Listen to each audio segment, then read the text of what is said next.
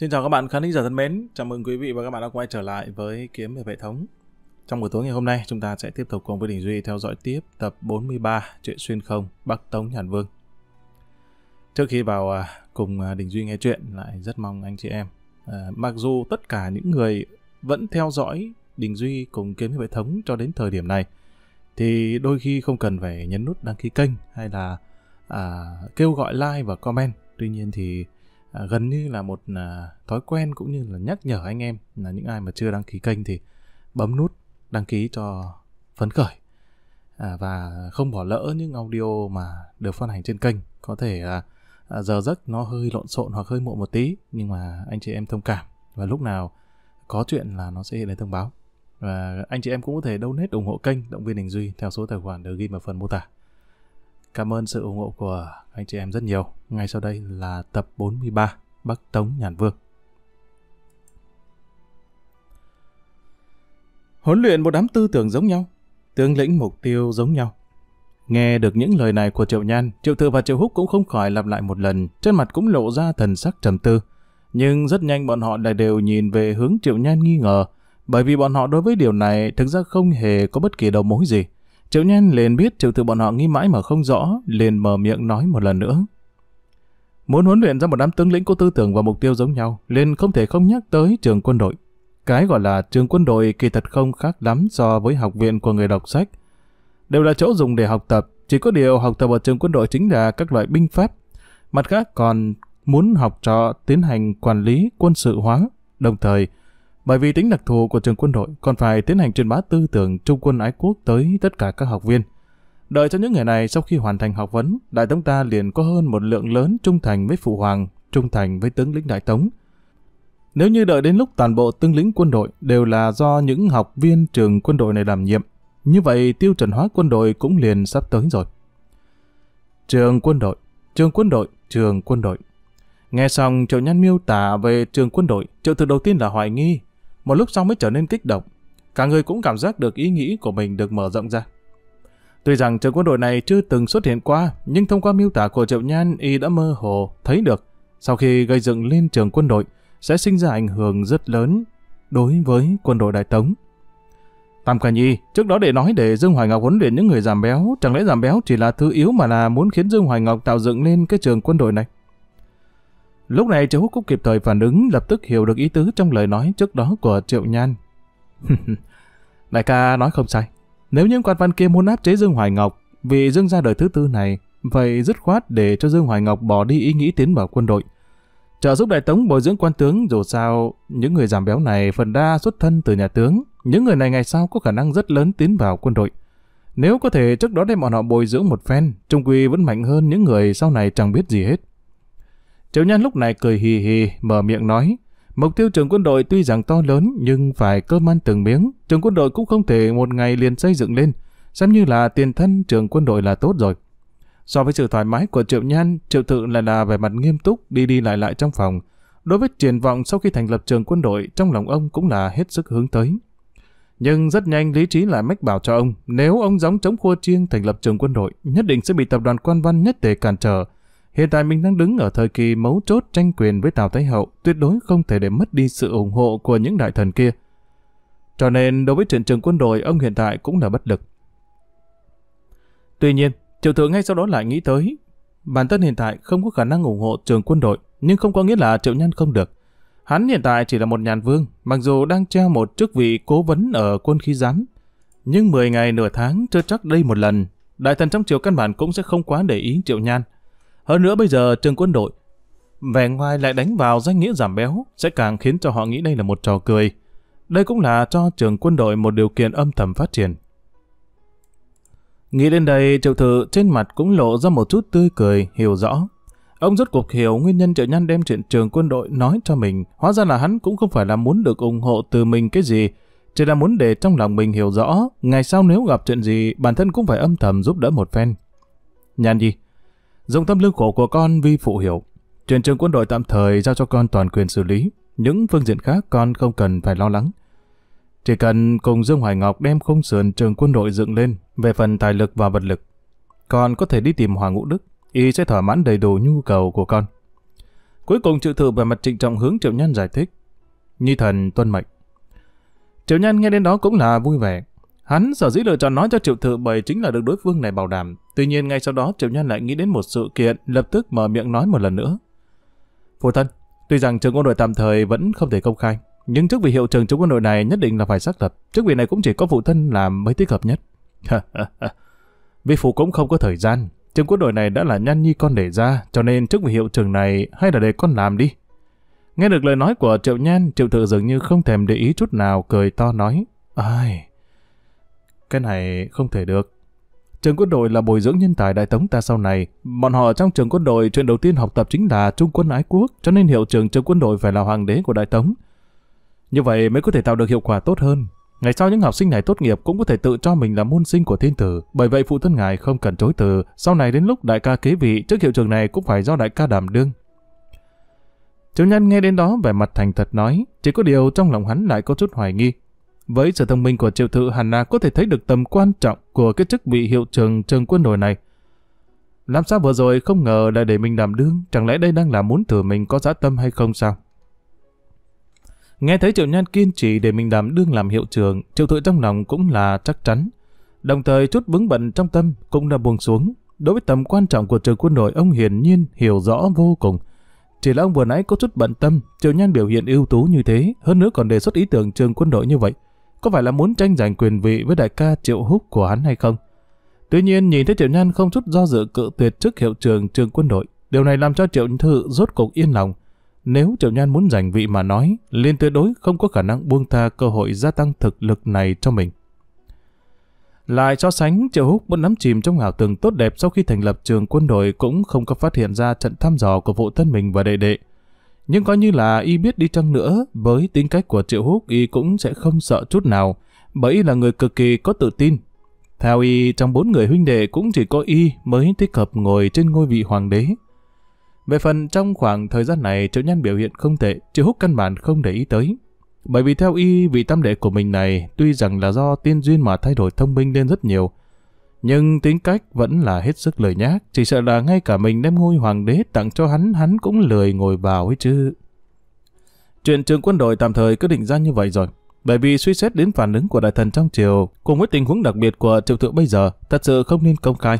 Chỉ có thể để triệu nhan và Dương Hoài Ngọc âm thầm phụ trách. Tuy nhiên, Triệu thượng lại đồng ý đảm nhiệm chức hiệu trường trường quân đội. Mặt khác, Triệu Húc cũng khoác lên chức vụ nhàn hạ phó hiệu trường. Triệu Nhan thì đảm đương chức quân đốc quản lý kỷ luật trường quân đội, tương đương với thầy chủ nhiệm trường học đời sau. Về phần Dương Hoài Ngọc thì khá thảm rồi, y chẳng những phải đảm nhiệm tổng sĩ quan huấn luyện trong trường quân đội, đồng thời còn là binh pháp tiên sinh duy nhất trong trường quân đội, có thể nói là văn võ ôm đồm. Học viên khóa đầu tiên trường quân đội không ra thành tích thì đều là do y rồi. Đợi đến khi ba người phụ tử triệu từ bọn họ từ chắc điện đi ra, trong tránh điện tiệc đoàn viên cũng kết thúc. Ngay sau đó Triệu Nhan dẫn theo Tào Dĩnh rời khỏi. Vốn Bảo An công chúa và Thọ Khang công chúa cũng muốn cùng nhau rời khỏi đây. Nhưng đã bị Tào Thế Hậu phái người gọi đi rồi, nói là để các nàng cùng nhau mừng lễ năm mới. Mặt khác nhóc béo Triệu Quần cũng bị Triệu Thự giữ lại, cho nên cuối cùng chỉ còn lại Triệu Nhan và Tào Dĩnh rời khỏi Hoàng Cung. Tam Ca Nhi dừng bước, ngay khi Triệu Nhân và Tào Dĩnh ra khỏi nội cung, đang chuẩn bị lên xe ngựa, chợt nghe phía sau truyền đến một âm thanh quen thuộc. Nghe thấy âm thanh này, hai người bọn họ đều có chút kinh ngạc liền xoay người lại, vừa ai nhìn thấy đại tỷ Đức Ninh công chúa của bọn họ cười ha hà đi tới. Đại tỷ thì có chuyện gì không? Triệu Nhan lúc này cũng lộ ra một nụ cười nói, đối với vị đại tỷ này của mình, hắn mặc dù cũng là lần đầu tiên gặp, nhưng cảm giác vẫn là không tệ. Vừa rồi thấy nàng và bảo an công chúa, thọ khang công chúa, Tào Dĩnh đều nói chuyện rất là vui vẻ, Phòng trưng cũng là người rất dễ tiếp xúc. ta cũng không phải là tìm Tam Ca Nhi ngươi đâu, mà là có mấy câu muốn nói với Dĩnh Nhi muội muội. Đức Ni công chúa cười nói, sau đó liền lôi kéo Tào Dĩnh đến một bên xe ngựa khác, nhỏ giọng thì thầm, cũng không biết là hai nữ nhân đang nói cái gì nữa. Qua một hồi lâu, lúc này mới thấy Đức Ninh công chúa thân thiết kéo cánh tay nhỏ bé của Tào Dĩnh đi tới, sau đó nhẹ nhàng đem nàng đẩy đến người Triệu Nhan, vừa cười vừa nói. Được rồi, đại tỷ nói hết lời rồi, bây giờ đem thế tử của ngươi trả lại cho ngươi. Đối với vị đại tỷ tính cách trong sáng này, Triệu nhan cũng hơi giờ khóc giờ cười, ngược lại Tào Dĩnh mở miệng. Đại tỷ đang mang bầu, hay là về sớm một chút đi, nếu không phò mã nói không chừng sẽ đến Hoàng Cung tìm người đấy. Nghe thấy Tào Dĩnh trêu đùa, Đức Ninh công chúa lại mỉm cười khanh khách, sau đó mới hướng Triệu nhan bọn họ cáo từ. Tự mình trèo lên xe ngựa quay về. Lúc này Triệu Nhan và Tào Dĩnh cũng lên xe ngựa. Đợi đến sau khi ngồi xuống, Triệu Nhan lúc này mới tò mò hỏi. Nương tử, đại tỷ vừa rồi nói thầm cái gì với nàng vậy? Đều là chút chuyện làm ăn buôn bán trong nhà. Vương Phò Mã có một chị ruột, trong nhà mở một lò ép dầu lớn. Trước đây buôn bán không tốt lắm, nghe nói phân xưởng xà phòng thơm của chúng ta dùng rất nhiều dầu, cho nên muốn đem dầu xuất ra từ xưởng ép bán cho chúng ta. Mặt khác nhà đại tỷ ở phía Nam cũng có buôn bán, cho nên muốn đặt chút xà phòng thơm từ phân xưởng xà phòng của chúng ta, sau đó vận chuyển đến phía Nam bán, đều là chút chuyện nhỏ không cần bàn đến. Vừa rồi ở bữa tiệc đại tỷ ngại nói cho nên mới chọn lúc này nhắc đến mấy câu, ta vừa rồi cũng đáp ứng rồi. Tào Dĩnh vô cùng thoải mái mở miệng nói. Nghe được hóa ra là chuyện trên vương diện làm ăn, Triệu Nhan cũng liền không hỏi đến nữa. Đại bộ phận ở trong nhà quý tộc, việc buôn bán đều là chuyện của nữ nhân gia. Có rất ít nam nhân đi quản kinh doanh. Tất nhiên giống như tên Tào Tông là thật sự không nên hồn, mới bị trong nhà phái đi quản lý chuyện kinh doanh của gia tộc. Xe ngựa của Triệu Nhan theo Tây Hoa Môn rời khỏi Hoàng Cung, dọc theo đường cái Tây Giác Lâu, hướng đến quận Phủ Vương của mình. Hôm nay là 30 Tết, trên đường phố cũng là náo nhiệt vô cùng. Tuy rằng thương gia đều đóng cửa hết rồi, nhưng lại có không ít người giàu có thả pháo bông. Bởi vậy trên đường phố tất cả đều là người xem pháo bông, bọn trẻ nhỏ trong đám người chui tới chui lui. Thường thường có thể tự mình châm pháo đốt ném đến đám người, kết quả đưa tới một trận gà bay chó sủa cùng với tiếng cười mắng của không ít người. Nhìn bức cảnh náo nhiệt đoạn đầu đường Đông Kinh này, hơn nữa sự tình trường quân đội cũng đã làm xong, khiến cho Triệu Nhan tâm tình vô cùng thư sướng.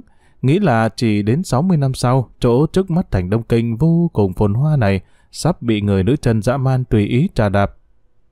Triệu Nhan cũng không kìm được nhíu mày, đặc biệt nghĩ đến sau khi thành bị phá, nữ tử trong thành cùng với hoàng tộc Triệu Thị bị làm nhục, Triệu Nhan bỗng nhiên cảm thấy nhiệt huyết dâng lên, trên vai cũng nhiều thêm một loại trách nhiệm nặng nề. 60 năm, nếu tuổi thọ của ta đủ dài, khi đó hẳn là còn sống, mặt khác sẽ còn có vô số con cháu. Mặc dù ta không cần quan tâm sinh tử nhưng lại không thể trơ mắt nhìn con cháu mình bị bất cứ ai làm nhục. Triệu Nhan lúc này dùng một loại thanh âm vô cùng thấp, không thể nghe thấy, lầm bầm. Vì mình và con cháu mình, hắn bất kể như thế nào cũng muốn ngăn cản trận thảm kịch trong lịch sử kia phát sinh. Nghĩ đến đây, Triệu Nhan nghiêng đầu sang chỗ khác, nhìn nhìn Tào Dĩnh bên cạnh về mặt vui mừng thưởng thức cảnh đêm, sau đó lại nghiêng đầu ngó sang chỗ khác, nhìn về hướng phía đông bắc, suy nghĩ trong đầu cũng dường như bay qua Đông Kinh và Đại Tống, bay vùn vụt đến lãnh thổ lưu quốc rộng lớn, cuối cùng rơi vào giữa trường Bạch Sơn và Hắc Long Giang, nơi có một dân tộc dã man sinh sống.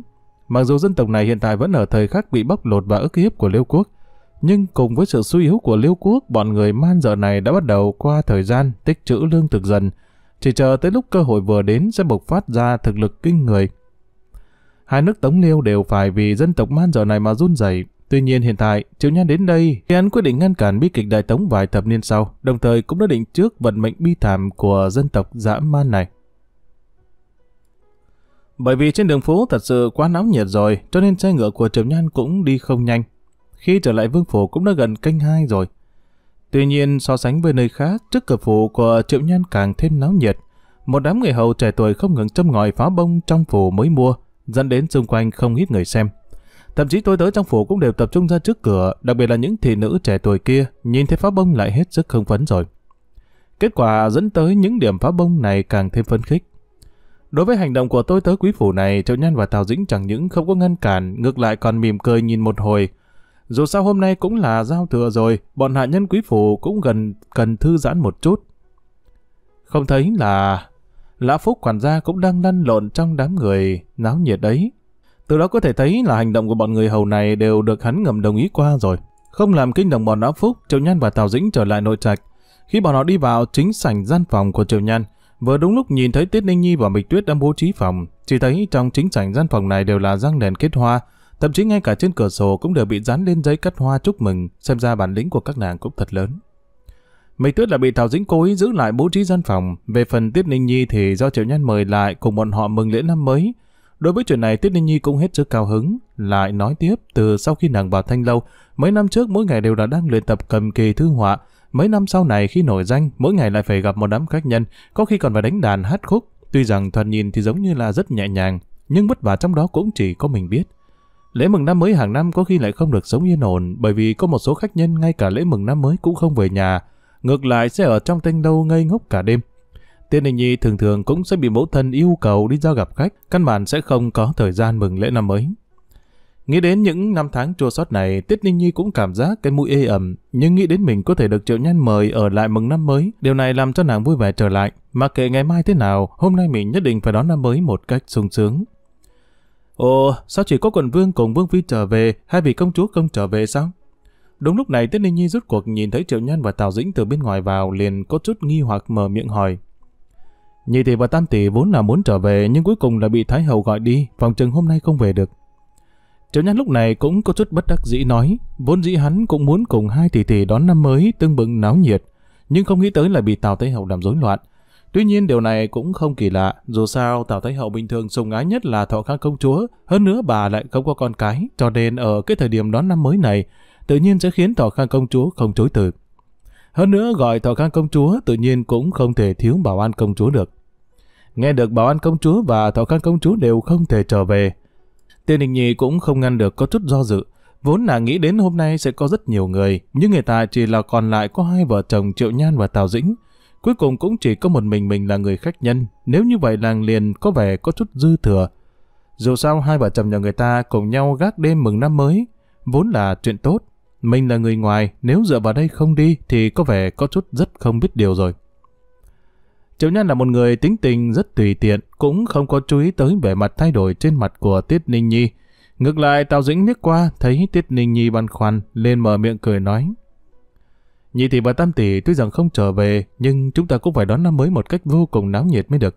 Ta cùng phu quân hơn nữa có tiết đương tử, người thật có chút thiếu.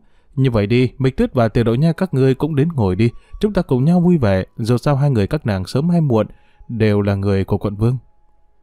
Tế Ninh Nhi nghe thấy Tào Dĩnh để Tiểu Đội Nha và Mịch Tuyết cũng đến ngồi cùng, trong lòng cũng không kìm nổi vui vẻ, mà khi nghe tới câu cuối cùng càng làm cho nội tâm nàng hoàng hốt. Tào Dĩnh là thế tử của Triệu Nhan, Tiểu Đội Nha và Mịch Tuyết ngày sau cũng nhất định là thị thiếp của Triệu Nhan. Hiện tại mình cùng các nàng ngồi một chỗ như vậy có phải là có ý gì hay không? Nghĩ đến sau cùng, Tiết Ninh Nhi cũng không kiềm được cảm thấy trên mặt nóng lên. Nàng hiện tại mới chợt phát hiện trong khoảng thời gian ở chung, mình vậy mà đối với cái ý nghĩ này cũng không bài xích, thậm chí mơ hồ còn có chút chờ mong. Nếu có thể ở bên cạnh người nam tử như Triệu Nhan, dường như cũng là một lựa chọn tốt. Chỉ là Tiết Ninh Nhi đang tâm sự, cũng không có phát hiện nét mặt của nàng đã hoàn toàn bị Tào Dĩnh nhìn thấu trong mắt. Ai già, nàng nhéo ta cái gì vậy? Đang chuẩn bị ngồi xuống nghỉ ngơi một chút, Triệu Nhan bỗng nhiên cảm thấy cánh tay mình đau nhói. Chính là Tào Dĩnh bên cạnh hắn nhéo hắn một cái, tuy rằng không phải là đau, nhưng làm cho người ta cảm thấy không hiểu ra sao cả. À không sao, ta nhéo nhầm người. Tào Dĩnh thở phì phì, nói nhỏ. Tuy rằng nàng tận lực che giấu nhưng không lấn át được giọng nói, có vẻ chua xót như cũ này. Kỳ thật chuyện này căn bản cũng không trách được Triệu Nhan, chỉ là nữ nhân này ăn phải giấm chua, là căn bản không thèm nói gì hết. Tên Ninh Nhi và Mịch Tuyết đều vẫn chưa ăn cơm. Triệu Nhan và Tào Dĩnh tuy rằng vừa mới tham gia tiệc đoàn viên trong cung, cái loại yến hội này chủ yếu là nói chuyện mà không ăn uống mấy, hai người căn bản vẫn chưa ăn được gì. Đặc biệt Triệu Nhan là ở giữa trường rời khỏi cho nên hiện tại cũng cảm thấy có chút đói bụng. Vì thế liền sai người bưng cơm tất nhiên lên, cả nhà vừa ăn vừa nói chuyện. Triệu Nhan là một người tính tình hiền hòa, hơn nữa lại hết sức bác học hay nói. Mây Tuyết và Tiểu Đậu Nha tính tình cũng vô cùng hoạt bát. Tiết Ninh Nhi vừa mới bắt đầu còn có chút dự ý. Nhưng qua theo thời gian, dần dần cũng gia nhập vào, chỉ có Tào Dĩnh vừa rồi đang ghen nên chỉ hoãn lại.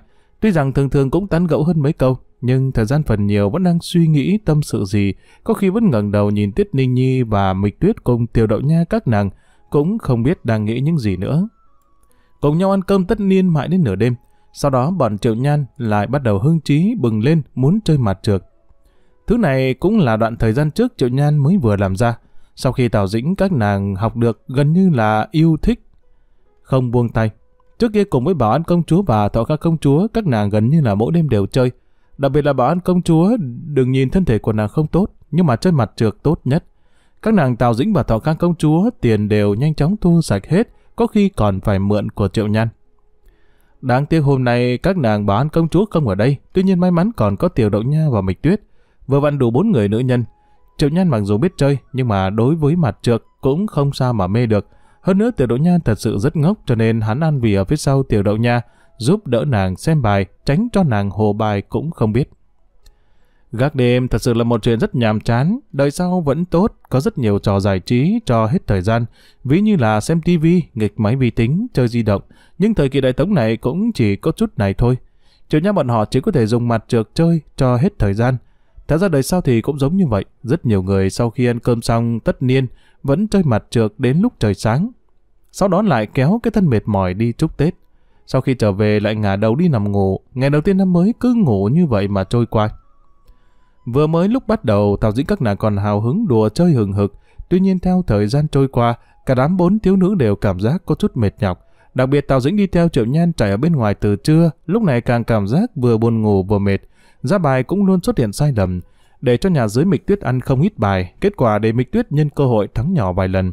Tiết Ninh Nhi ngồi đối diện thấy Tào Dĩnh bộ dạng không ăn thua gì, liền cười đề nghị. Chỉ đánh bài cũng không có ý nghĩa gì, chỉ bằng để ta gảy một bản nhạc trợ hứng cho mọi người xem như thế nào. Nghe thấy Tiết Ninh Nhi muốn đánh đàn, Tiểu Đội Nha và Mịch Tuyết cũng là cao giọng trầm trồ khen ngợi. Tào Dĩnh cũng biết Tiết Ninh Nhi đây là đang vì suy nghĩ vì mình, liền cũng cười gật đầu tán đồng. Tuy nhiên đúng lúc này Triệu Nhan chợt mở miệng nói. Tiết hành thủ khoan đã, lúc nãy ngươi và Bạch Tuyết bố trí phòng khẳng định cũng đã mệt chết đi rồi, cho nên không bằng để cho ta tới đàn một bàn, để mọi người nghe một chút nhạc khí của bồn vương xem trình độ như thế nào. Phu quân, không ngờ chàng cũng biết đánh đàn đấy. Triệu Nhan vừa dứt lời vốn tinh thần còn có chút không tốt lắm. Tào Dĩnh lập tức mở to hai mắt, vẻ mặt không thể tin nổi liền hỏi, cảm giác buồn ngủ vừa nãy tức thì bị nàng ném lên trên 9 tầng mây. ta không biết đánh đàn nhưng sẽ đánh một loại nhạc khí khác. Triệu Nhan lúc này có vẻ mặt thần bí, nhưng sau đó xoay người đi vào gian phòng của mình, lấy cái đàn guitar kia ra. Tên Ninh Nhi nhìn thấy loại này liền tự mình lấy tay điều chỉnh qua đàn guitar, cũng không kìm được lộ ra một loại thần sắc mong đợi. Trước đó nàng đã muốn nghe Triệu Nhan đánh cái loại nhạc khí mới này một chút, nhưng Triệu Nhan lại muốn chờ tới lễ mừng năm mới mới bằng lòng đánh đàn. Điều này cũng làm cho nàng có lý do ở lại. Hiện tại rốt cuộc cũng có thể thưởng thức một chút loại nhạc khí này rồi. Chỉ thấy Triệu Nhan để tiểu đội nhan đem một cái ghế cao, sau đó ngồi ở trước mặt Tào Dĩnh các nàng, điều chỉnh một chút đàn guitar trong tay, lúc này mới mở miệng nói. Được rồi, bây giờ ta sẽ hát tặng một ca khúc cho mọi người. Tào Dĩnh nhìn thấy cái chuôi nhạc khí trong tay Triệu Nhan với đàn tỳ bà có chút giống nhau, trong lúc nhất thời cũng lộ ra thần sắc tò mò. Chỉ thấy Triệu Nhan hắng giọng một cái, ngón tay đặt ở trên dây đàn lấy một chút cảm tình, lúc này mới nhẹ nhàng gài đàn lên. Đồng thời nương theo tiết tấu len keng thanh thoát. Triệu Nhan về mặt thì thâm tình nhìn Thảo Dĩnh hát. Khó có thể quên lần đầu gặp nàng, một đôi mắt mê người, thân ảnh của nàng tàn ra không đi, nắm lấy hai tay của nàng, cảm giác rất dịu dàng, thật sự có chút nghẹt thở, sự hồn nhiên của nàng ta muốn quý trọng, nhìn thấy nàng chịu ủy khuất ta rất thương tâm. Bài Tình Phi Đắc Dĩ này là một trong những ca khúc thịnh hành nhất khi Triệu Nhan lên cấp 3. Lúc ấy Triệu Nhan cũng giống như bao nhiêu nam tử khác, trong lòng có cô gái mình thích, bài này thanh âm của hắn hát ra tình ca, có thể nói là thâm tình vô cùng. Cho nên Triệu Nhan cũng thích nhất, sau khi học được đàn guitar, hắn mới tập luyện bài này. Đáng tiếc năm đó tình cảm sớm đã như gió bay đi, chỉ còn lại bài khúc này lưu lại trong lòng Triệu nhan Lúc này càng là vì Tào Dĩnh mà hát ra, chỉ có điều không biết loại bài hát này đời sau phổ biến. Tào Dĩnh các nàng liệu có thưởng thức? Vừa khi bắt đầu, Triệu Nhân đánh khúc nhạc Tình Phi Đắc Dĩ, Tào Dĩnh và Tiết đinh Nhi đều cảm thấy hai mắt tỏa sáng, cảm thấy cái loại nhạc khí này chẳng những âm thanh trong trèo dễ nghe, hơn nữa âm sắc hay thay đổi, so với đàn cầm hay tỳ bà cũng không kém chút nào. Tuy nhiên ngay sau đó Triệu Nhân bắt đầu nương theo âm điệu hát lên, hơn nữa mới mở miệng liền là ca từ lộ liễu như vậy, càng làm cho Tào Dĩnh cảm thấy xấu hổ. Triệu Nhan dĩ nhiên luôn luôn nhìn nàng tình cảm vô cùng thấm nồng, dễ nhận thấy bài hát này đúng là hát vì nàng. Nếu chỉ có hai người Tào Dĩnh và Triệu Nhan, Tào Dĩnh mặc dù sẽ cảm giác thèn thùng, nhưng mà trong lòng khẳng định cũng sẽ cảm thấy vô cùng vui sướng. Chẳng sợ Triệu Nhan hát bài hát này cho nàng nghe có chút lộ mãng. Nhưng trong lời bài hát biểu đạt tình cảm lại là sự thật, điểm ấy Tào Dĩnh có thể nhận ra. Chỉ có điều hiện tại xung quanh còn có Tiết Ninh Nhi và Tiểu Đội Nha mịch tuyết các nàng. Điều này làm cho Tào Dĩnh cảm giác giống như trên mặt tránh rồi hay sao. Hai tay bị phòng đều đỏ lên, ánh mắt lại nhìn trầm trầm xuống mặt đất. Căn bản không dám đối diện với Triệu Nhan. So với vẻ thẹn thùng của Tào Dĩnh, Tiết Ninh Nhi và Mịch Tuyết các nàng sau khi kinh ngạc qua đi, một đám cũng đều kịp phản ứng. Nhìn về mặt thâm tình của Triệu Nhan là nhìn Tào Dĩnh xấu hổ, ba nữ nhân đều có cảm giác có chút buồn cười, nhưng lại không dám cười ra tiếng. Chủ yếu là sợ Tào Dĩnh thẹn quá thành giận, sau đó lại đem các nàng giết người bịt miệng. Tuy rằng Tào Dĩnh thẹn thùng, Tiết Ninh Nhi các nàng cảm giác buồn cười, nhưng đều không thể không thừa nhận. Triệu Nhan hát bài hát này rất êm tai, Duy chỉ có ca từ có chút lỗ mãng rõ ràng rồi, bình thường không thể trước mặt người khác mà hát, nếu không sẽ bị người mắng chết không thôi. Thật vất vả đợi cho Triệu Nhan hát xong bài này, sau đó khoe ra một tư thế vô cùng khốc liệt, hướng Tào Dĩnh mở miệng nói. Đương tử thấy thế nào? Ta hát bài này có hay không? Tào Dĩnh vốn là xấu hổ, sau khi nghe được lời nói của Triệu Nhan, căn bản ngượng ngùng không tiện mở miệng trả lời, ngược lại Mịch Tuyết bên cạnh cười nói. Quận Vương hát rất dễ nghe, tụi nô tỳ vẫn muốn nghe, không bằng Quận Vương hát thêm mấy bài nữa đi. Hả? Vẫn là mình Tuyết ngươi biết hàng, bồn vương năm đó từng được xưng là thiên đại ca vương, năm đó à. Khi Trầm Nhân nói tới đây, chân nhớ lại là mình đã xuyên Việt đến Đại Tống.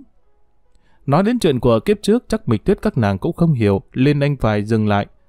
Kỳ thật hắn ca hát cũng thật sự không tệ. Năm đó khi lên đại học liền dừng tại cuộc thi thiên đại ca hữu ở ký túc xá Nam Sinh, vừa mới đánh bại phần đông tuyển thủ được toàn bộ tòa ký túc xá xưng là thiên đại ca vương. Kế tiếp Triệu Nhan lại đánh đàn một bài tuy rằng đơn giản nhưng lại hết sức dễ nghe. Thiên không chi thành. Hơn nữa lần này hắn lại không hát chỉ là dùng đàn guitar độc tấu. Kỳ thật vừa rồi hắn cũng cố ý hát bài tình ca kia cho Tào Dĩnh, mục đích là thay đổi một chút chú ý của Tào Dĩnh tránh cho nàng lại buồn ngủ. Trừ bài trước ra, Tào Dĩnh các nàng có cảm giác có chút lộ mãng, thiên không chi thành lại chiếm được sự nhất trí tán thưởng của các nàng. Đặc biệt là Tào Dĩnh và Tiết Ninh Nhi tinh thông âm nhạc đều cảm thấy hết sức hứng thú với cây đàn trong tay Triệu Nhan. Thậm chí Tiết Ninh Nhi còn đề xuất muốn học đánh đàn guitar. Đối với điều này Triệu Nhan cũng gật đầu đồng ý, có thể có một Tiết Ninh Nhi tuyệt thế mỹ nữ như vậy học đàn guitar của mình, đây chính là một giấc mộng đẹp của hắn ở tiền thế. Mùa đông ban đêm rất lạnh vô cùng, nhưng trong phòng khách lại mấy cái lò than, khiến cho toàn bộ phòng khách ấm áp như mùa xuân. Triệu Nhan ôm đàn guitar đánh bài này nối tiếp bài kia, Tiết Ninh Nhi và Tào Dĩnh các nàng nghe cũng đều vô cùng mê mẩn. Dù sao, bất kể là đàn guitar hay là ca khúc triệu nhan đánh đàn, đối với các nàng mà nói đều hết sức cảm thấy lạ kỳ. Vừa mới bắt đầu có thể sẽ có cảm giác có chút không được tự nhiên, nhưng thời gian dần qua, sau khi thích ứng sẽ cảm giác hết sức dễ nghe. Đương nhiên điều kiện tiên quyết là triệu nhan không được hát những ca khúc quá độ liễu. Triệu nhan bắt tay vào gài đàn guitar, cả người hình như cũng quay về tiền thế, từng chút từng chút của kiếp đó đều xông lên đầu, người thân, bạn bè, học sinh các loại, một đám gương mặt quen thuộc thổi qua trước mặt hắn. Nghĩ đến mình rốt cuộc không trở về được cũng sẽ không còn được gặp lại những người quen này. Điều này cũng làm cho trong lòng của Triệu Nhan không kìm được, dâng lên vài phần chua xót. Có lẽ đúng là nghĩ đến mình rốt cuộc không thể quay về kiếp trước. Ở đêm năm mới này, Triệu Nhan bỗng nhiên đánh một ca khúc cuối cùng mà hắn học được ở tiền thế. Chính là Lão Nam Hải, từng rất phổ biến một thời ở đời sau. Khi anh đánh lên bài này ví như bản nhạc nhớ bạn cũ kinh điển nhất nương theo có giai điệu đau buồn, Triệu Nhân lại nhẹ nhàng hắt lên. Đó là đêm ta nhớ người yêu sâu sắc lắm.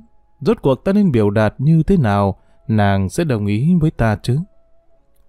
Có lẽ vĩnh viễn cũng sẽ không nói ra câu đó với nàng. Đang lúc Triệu Nhan hát đến câu kia, khi đó người cùng ta làm bạn đâu rồi, các ngươi hiện giờ ở phương nào? Chỉ cảm thấy cái mũi mình đau xót, ngăn không được nước mắt chảy xuống. Lúc trước, khi hắn vừa mới xuyên Việt đến, liên tiếp vài ngày đầu đều không thể tin được cái sự thật này. Trải qua cuộc sống mấy ngày, hắn nghĩ mình cũng đã thích ứng với cuộc sống đại tống. Nhưng đến giờ khắc tân niên này, hắn lại không kìm nổi lại một lần nữa nhớ tới những người quen ở tiền thế. Một loại cảm giác cô độc mãnh liệt qua thời gian vây quanh hắn. Lão Nam Hải là một bài thơ nhớ bạn cũ, hơn nữa tâm tình của Triệu Nhan lúc này khiến cho hắn tuy rằng nước mắt chảy không ngừng, cũng đem cảm tình của mình hoàn toàn dung nhập vào trong đó, đem ca khúc kinh điển này biểu diễn cực kỳ cảm động. Đối diện với Tào Dĩnh và Tiết Ninh Nhi các nàng tuy rằng không hiểu tâm cảnh của Triệu Nhan, nhưng nhìn thấy khuôn mặt hắn tràn đầy nước mắt, hơn nữa trong ca khúc toát ra vẻ bi thương kia cũng khiến cho trong lòng các nàng đau xót. Tiểu Đỗ Nha và Mịch Tuyết tuổi còn nhỏ vẫn khá ổn, Tào Dĩnh và Tiết Ninh Nhi đều cùng với Triệu Nhan lặng lẽ rơi nước mắt. Đợi cho hát xong một khúc, Triệu Nhan nhắm mắt lại ngồi ở chỗ kia, cả người còn nắm chìm trong hồi ức kiếp trước không thể tự thoát ra được. Qua một hồi lâu, lúc này mới mở to mắt, kết quả khi thấy Tào Dĩnh và Tiết Ninh Nhi hai mắt đều lưng tròng đẫm lệ nhìn mình. Điều này cũng làm cho có chút ngượng ngùng, lập tức cười, nói. Vừa rồi quá tập trung vào hát rồi, không nghĩ đến lại làm cho các nàng khóc. Nhìn thấy Triệu Nhan mở to mắt, Tào Dĩnh lấy khăn tay lau đôi mắt đỏ hoe ấy, sau đó đứng lên đi đến bên cạnh Triệu Nhan, giúp hắn lau nước mắt trên mặt, nói Phu quân về sau đừng hát cái loại bài hát này nữa, nghe làm trong lòng người khó chịu lắm. nghe lời nương tử, sau này ta không hát nữa là được chứ gì. Triệu Nhan lúc này cũng từ trong tâm cảnh bi thương thoát ra, lên cười đáp ứng nói đủ loại kiếp trước cũng đã không trở về được nữa rồi. Hiện tại hắn có thê tử, thân nhân và bằng hữu, cho nên từ hôm nay trở đi, Triệu Nhan quyết định hoàn toàn buông bỏ những tưởng niệm kiếp trước, bắt đầu cố gắng sống tốt ở kiếp này. Phía sau Tiết Ninh Nhi, nhìn thấy bộ dáng Tào Dĩnh và Triệu Nhan thân mật, trên mặt cũng không ngăn được lộ ra một loại vẻ mặt hâm mộ.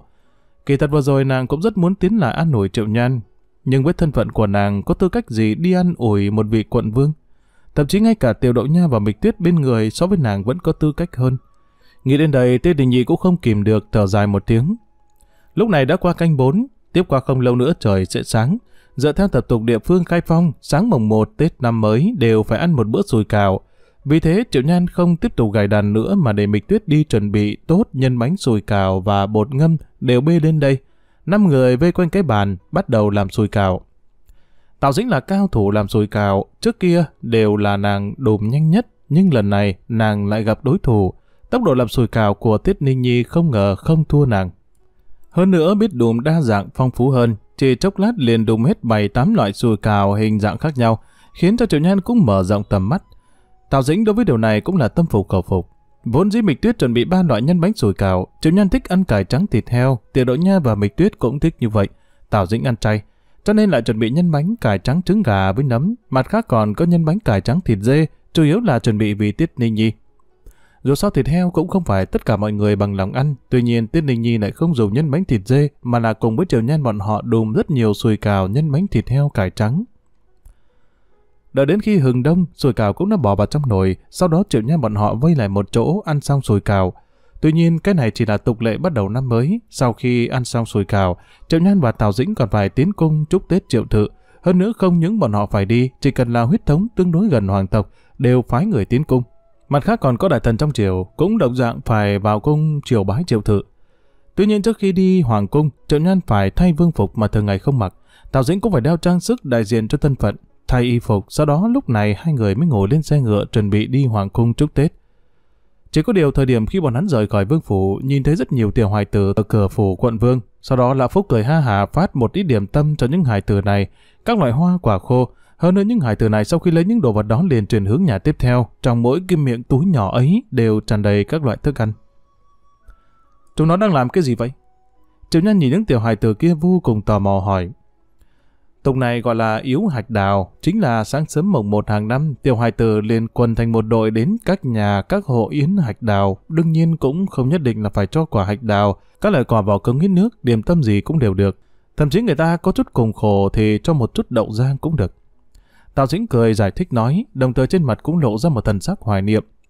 Nàng lúc nhỏ cũng từng trải qua yếu hạch đào, đương nhiên với thân phận của nàng, cũng chỉ có thể cùng nhóm đường tìm mồi ăn xin ở bên trong tòa nhà lớn tạo ra.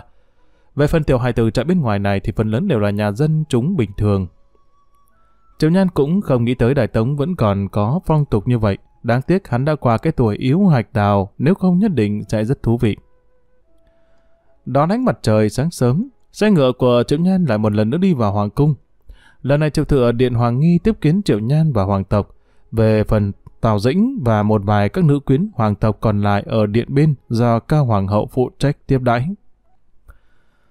Để chúc Tết Hoàng đế cũng không phải là một chuyện đơn giản mà là có lễ nghi trọn vẹn. Triệu Nhan đi theo Triệu Húc như một robot bắt trước theo. Dù Triệu Húc làm cái gì thì hắn làm cái đó, tuyệt đối sẽ không có sai. Để Triệu Tự đáp lễ xong, Triệu Húc lại dẫn hắn và Triệu Quần, Triệu Hạo, huynh đệ bốn người chúc Tết Hoàng tộc bề trên. Kết quả là bái một vòng từ trên xuống dưới, Triệu Nhan cảm giác như đầu mình đã hôn mê. Tiện nhìn đến ai đều muốn xoay người thi lễ, đều sắp thành quán tính rồi. Thật vất vả, cuối cùng bái xong năm cấp rồi, người cũng đã chậm chậm tàn ra. Triệu Nhân đang chuẩn bị trở về lên xe ngựa đợi Tào Dĩnh. Nhưng không ngờ lúc này Triệu Húc bỗng nhiên giữ chặt, nói Tam đệ dừng bước, ngày hôm qua có chuyện quên nói với người. Qua mấy tháng nữa e rằng chúng ta phải đi liêu quốc một chuyến. Triệu Nhân nghe Triệu Húc nói mà vẻ mặt biểu lộ tràn đầy ngạc nhiên, lập tức cao giọng Đi, đi liêu quốc. Để nhỏ giọng một chút, chuyện này người biết không nhiều. Triệu Húc nhìn xung quanh, cảm thấy không có ai chú ý, lúc này mới kéo Triệu Nhân vào trong góc tối, nói Vốn chuyện này hôm qua phụ thân nên nói cho đệ, nhưng mà đệ nói chuyện trường quân đội khiến phụ thân và ta đều quên hết việc ấy. Hai tháng này để chuẩn bị một chút, đoán chừng chậm nhất đến đầu tháng 3, chúng ta sẽ phải xuất phát đi liêu quốc một chuyến, ít nhất phải 2-3 tháng mới trở về. Triệu Nhân hỏi hết sức gấp gáp. Vì sao? Đi sứ liêu quốc phụ thân điều động nội bộ phái một hai sứ thần đi là được rồi, tại sao lại phái hoàng tử đi? Hơn nữa đại ca huynh chính là thái tử, phái huynh đi liêu quốc có phải quá nguy hiểm không? Theo hắn liêu quốc chính là nước đại tống thù địch, chính mình và triệu húc hoàng tử đi sứ địch quốc chẳng phải là dê vào miệng cọp sao? Tuy nhiên khi triệu húc nghe được triệu nhân nói câu sau cùng thì cười ha hả nói Tam Ca Nhi đệ suy nghĩ quá nhiều, tình trạng trước đây liêu quốc cùng đại tống chúng ta có thù địch, nhưng từ sau hiệp ước Thiền Uyên, Liêu quốc và Đại Tống đã thành huynh đệ chi bang, mặc dù vùng biên giới hai nước vẫn thường xuyên phát sinh xung đột. Nhưng quan trên ở hai nước vẫn còn duy trì một loại thái độ hữu hảo, giữa hai bên cũng thường xuyên phái sứ giả, chẳng hạn như năm ngoái phụ thân lên ngôi, hoàng đế Liêu quốc gia luật Hồng Cơ liền phái thái tử Liêu quốc gia luật Tuấn đến nơi chúc mừng. Năm nay đại thọ gia luật Hồng Cơ, phụ thân định phái ta đi trước. Dù sao đại tống chúng ta cũng không thể thiếu lệ tiết, Triệu Nhân nghe đến đó rốt cuộc mới hiểu quan hệ Đại Tống và Liêu Quốc không căng thẳng giống như mình tưởng tượng. Mặc dù hai nước vẫn đang âm thầm đối đầu, như năm ngoái trước sự kiện kia, ở ngoài mặt hai nước vẫn còn duy trì một loại thái độ hòa bình, quan trên cũng thường xuyên qua lại. Nhưng mà đại ca một mình huynh đi là được rồi, vì sao ta cũng phải đi? Mặc dù trong đó quan hệ hai nước minh bạch nhưng Triệu Nhan vẫn còn có một chút không yên lòng, đặc biệt nghĩ đến Trương Nhân Tiên người kia bị mình làm cho sống không bằng chết. Phụ thân Trương Nhân Tiên là Trương Hiếu Kiệt lại là Liêu Quốc Bắc Viện Thừa Tướng, và nhất đối phương biết chính mình đem con của ông ta hại thành như thế, sau đó liều mạng vì con trai báo thù, đến lúc đó chính mình chẳng phải nguy hiểm sao? Vốn phải cần một người đi, nhưng sau này xảy ra chuyện rất phức tạp, trong lúc nhất thời cũng không nói rõ ràng được, chúng ta hay là đi tìm phụ thân. Đến lúc đó chúng ta sẽ kể lại tỉ mỉ và cùng để giải thích một chút. Nghe câu hỏi của Triệu Nhan, trên mặt của Triệu Húc bỗng nhiên lộ ra vẻ mặt bất đắc dĩ, nhưng trong ánh mắt thật giống như còn mang theo một chút tức giận.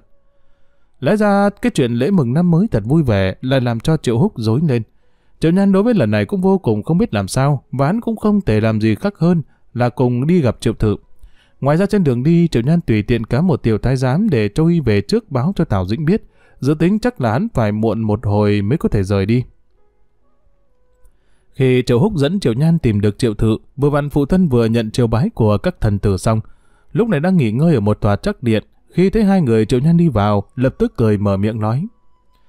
nhà nhị người đã biết rõ chuyện phải đi liêu quốc rồi chứ? Thế nào, có ý kiến gì không? Phụ thân, thật ra cũng không có ý kiến, nhưng chỉ có điều như thần nghĩ không ra. Vì sao con lại phải đi? Triệu Nhan bất đắc dĩ mở miệng nói. Nghe được lời mà Triệu Nhan nói, Triệu Tử ra hiệu cho hắn và Triệu Húc ngồi xuống bên cạnh mình, tiếp đó bưng lên chén trà trước mặt thưởng thức một ngụm nói. Nhan Nhi lần này đi, người đi lưu quốc chẳng thể trách người khác, muốn trách thì trách chính con. Không sai, chính là đệ tử mình gây ra đấy. Lúc này đột nhiên Triệu Húc cũng mở miệng cười nói, chính ta. Triệu Nhân nghe thấy thế kinh ngạc kêu ra tiếng. Thấy Triệu Nhân có vẻ không hiểu thì Triệu Tự khẽ mỉm cười nói. Đương nhiên là chính con. Ai bảo bức tranh của con được nhiều người biết đến, cũng không biết ai đem bức tranh của con bán ở Liêu Quốc. Kết quả rơi vào trong tay gia luật Hồng Cơ. Ông ta vừa thấy liền vô cùng yêu thích. Nghe nói là từ bút tích của Nhan Nhi, kết quả lần này gia luật Hồng Cơ tới đưa cho ta một phong thư do chính tay viết mong muốn con đi liêu quốc một chuyến, khi đại thọ vẽ cho ông ta một bức giống như thế, ông ta sẽ khống chế liêu quân. Trong vòng 3 năm, đà thảo cốc tuyệt đối sẽ không xuống phía nam. Đà thảo cốc, cái danh từ này có thể người đời sau nói đến có chút xa lạ, nhưng tại thời Tống Liêu, cái danh từ này cũng khiến người Tống, đặc biệt là người Tống sống ở vùng Hà Bắc thống hận nhất.